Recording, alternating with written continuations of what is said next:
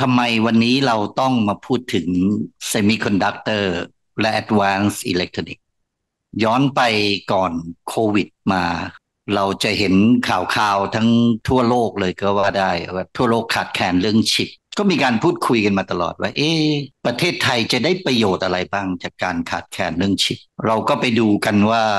บริษัท smart electronics ทั้งหลายที่เป็นเครื่องยนต์ที่สำคัญของประเทศเนี่ยในการขับเคลื่อนเศรษฐกิจของประเทศเรา เราจะทำยังไงที่จะทำให้พวกเขาแข็งแรง เราจะทำไงให้พวกเขามีโอกาสขยาย และที่สำคัญที่โจทย์จากทาง BOI ทางรัฐบาลก็บอกกับเรามาว่า เราอยากเห็นการลงทุนที่เพิ่มขึ้น เราอยากเห็นผู้เล่นรายใหม่ ๆ เข้ามาสู่ประเทศไทย ปีที่ผ่านมาเสร็จ เสร็จเรามีนวัตกรรมที่เราเรียกว่าแซนบ็อกเราเห็นสองสิ่งนี้มาเอื้อมาเสริมมาทำให้เกิด และนี่คือหนึ่งโครงการ sandbox ที่ทีมงานของเราไม่ว่าจะเป็น สอวช สป.อว. แล้วก็มหาวิทยาลัยอีกหลายแห่งที่เข้ามาร่วมกันทำได้เกือบประมาณ 6 เดือน 7 เดือนที่ผ่านมา มันมี 4 keyword ด้วยกัน keyword ที่สำคัญที่สุดเนี่ยเรามองถึงประเทศของเราที่มีความท้าทายในเรื่องของรายได้ต่อประชากร เรามีความท้าทายว่าเศรษฐกิจไทยจะขึ้นจะลงจะยั่งยืนได้อย่างไร จะต่อสู้ขับเคลื่อนกับความเปลี่ยนแปลงบนโลกได้อย่างไร เพราะฉะนั้นนี่คือปัจจัยที่สำคัญว่าทำไมเราจึงเลือก semiconductor และเลือก advanced electronics เพราะอะไร เพราะมีงานวิจัยรองรับระดับโลก ว่าอีก 5 ปีข้างหน้า ธุรกิจ smart electronics จะโตถึง 40-50%นั่นคือข้อการันตีถึงความยั่งยืนของอุตสาหกรรมทางด้านอิเล็กทรอนิกส์โจทย์ตัวนี้ ชัดเจน เพราะฉะนั้นเราจะขับเคลื่อนอะไร ที่จะสร้างกำลังคนกำลังเศรษฐกิจของประเทศที่ไปตอบโจทย์กับความเปลี่ยนแปลงของโลก ตัวที่สองที่เรามอง อะไรจะเป็นแรงจูงใจให้กับ stakeholder หรือผู้มีส่วนได้เสียของประเทศ เราก็เริ่มลำดับความสำคัญเลยว่า ตกลงผู้มีส่วนได้เสียของของการศึกษาของ sandbox เรานี่มันคือใคร คุณรู้ไหมครับ อันดับหนึ่งคือนิสิตนักศึกษาทำไมเราเลือกนิสิตนักศึกษา เราเห็นระบบการศึกษาที่นิสิตนักศึกษา จะต้องเรียนจบออกไป และคนเหล่านี้จะต้องทำงาน จะต้องมีอาชีพ ต้องประกอบสัมมาชีพอีก 80 ปี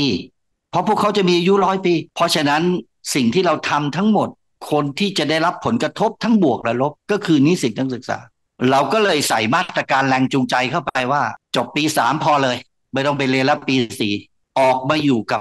สถานประกอบการ เราเชื่อว่าตรงนี้จะจูงใจพวกเรา แล้วเที่ยวนี้เราจะทำกันทั้งร้อยกว่ามหาวิทยาลัย ในคณะวิทยาศาสตร์ และวิศวกรรมแล้วเราเชื่อว่าอีกสักพักหนึ่ง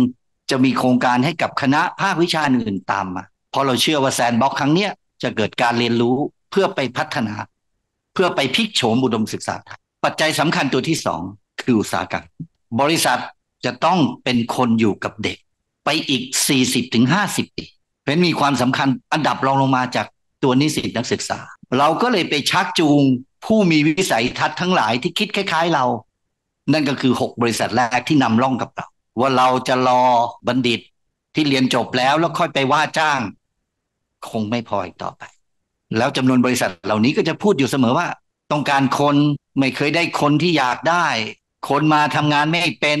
มาอยู่ประเดี๋ยวเดียวก็ลาออก นี่คือ pain point ของพวกเราทั้งนั้นเลยแต่เราจะรอ อยู่ที่บ้านอยู่ในบริษัท แล้วรอให้มหาวิทยาลัยผลิตบัณฑิตมาเซิร์ฟให้กับเราที่บ้าน มันเป็นไปไม่ได้นะถ้าจะมองถึงความเปลี่ยนแปลงถึง disruption บนโลก นี่คือหนึ่ง disruption ที่เราอยากจะเปลี่ยน เราก็เลยชักจูง6บริษัทเนี้ยมาร่วม co-create นี่คือ keyword เพราะฉะนั้นใน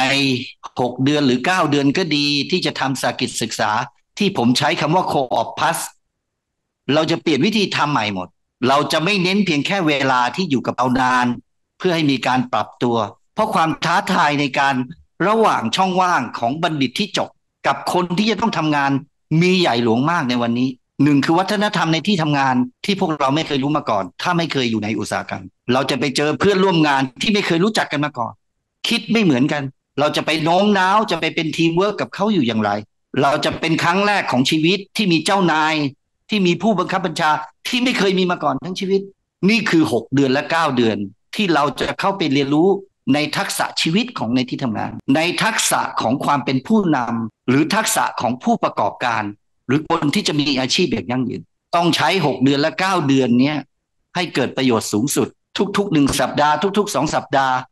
เราจะช่วยเข้าไปสะท้อนเพื่อให้เกิดการพัฒนา เพื่อให้เกิดการเรียนรู้และที่สำคัญ นี่เป็นความหมายที่สำคัญ เพราะบัณฑิตจะได้งานตั้งแต่ยังเรียนไม่จบ ผมว่าภาพเหล่านี้เป็นภาพที่ทุกคนทั้งประเทศอยากเห็น ปัจจัยที่สำคัญตัวที่สามคือมหาวิทยาลัย เราอยู่กับเด็กสี่ปี เราสอนเด็กเหล่านี้มาสามปีแล้ว เราพูดถึงอยู่เสมอว่าเราอยากจะพลิกโฉม เราพูดถึงอยู่เสมอ ว่าเราจะลดความเป็นวิชาการ ให้ไปสู่ในเรื่องของ soft skill เราก็เลยใส่เข้าไปใน sandbox ครั้งนี้ว่า มา มาช่วยกันทำวิชาที่เหลือในปีที่สี่ เดี๋ยวเรามาดูกัน เราจะแปลงสิ่งที่เรียนที่สอน สิ่งที่เด็กได้ไปรับมา ในช่วงสหกิจศึกษาได้เท่าไหร่ ยังเหลืออีกเท่าไหร่ จะเรียนออนไลน์กับเด็กที่เหลือได้ไหม ในระหว่างที่ทำงานกับบริษัทไป นี่คือความท้าทายที่อยากจะฝากทั้งสามภาคส่วน แต่ครั้งนี้เราจริงจังมาก เพราะว่าเราเชื่อว่าถ้าต้องการจะพลิกโฉม อุดมศึกษาอย่างแท้จริง sandbox นี่แหละครับ จะทำให้เกิดการพัฒนาเกิดการเรียนรู้ และส่งกันไปสู่การขยายผลสิ่งที่จะตามมาในไม่ช้านี้ หลังจาก sandbox semiconductor และ smart electronics จะมีโครงการใหม่ๆ เกี่ยวกับ PC board ที่ตอนนี้เราเริ่ม draft โครงการคร่าวๆไว้กับ BOI ไว้กับ สอวช สป.อว. แล้วระดับ แต่วันนี้ขอฝากข้อสำ คัญสุดท้าย กลไกที่สำคัญก็คือขอชวนอยากเห็นนิสิตนักศึกษาเข้ามาร่วมโครงการกับเรา อยากชวนบริษัทอีกหลาย ๆ บริษัทที่เข้ามาร่วมโครงการกับเรา และที่สำคัญ มหาวิทยาลัยขอฝากถึงสภามหาวิทยาลัยทุกแห่ง ผู้บริหารของมหาวิทยาลัยอาจารย์ของมหาลัย มาช่วยในการที่จะขับเคลื่อน โครงการแซนบ็อกแบบนี้ แล้วเราจะร่วมเรียนรู้ไปด้วยกัน วันนี้เป็นวันแรกที่เราไขกุญแจดอกแรกที่จะเปิดแคมปัสทัวร์ครั้งนี้ แล้วเรายังมีกุญแจที่จะตามมาอีกสี่ดอก ขอเชิญทุกคนมาช่วยกันพลิกโฉมการศึกษาไทย มาช่วยลดความเหลื่อมล้ำมาช่วยสร้างสร้างความมั่นคงยั่งยืนให้กับคนไทยทุกคน ขอบคุณมากครับ